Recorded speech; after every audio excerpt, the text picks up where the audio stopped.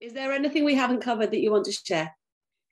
Nope, just that I think, bearing in mind, if I'd have had the opportunity to attend something like the Love Tutoring Festival in my infancy, I think it probably would have saved me four years in my build because I would have been there with a pen and paper, squirreling away notes, good practice, and tips.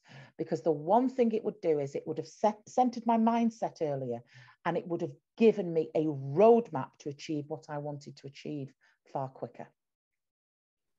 Also, what I think's the main thing is it can be quite lonely.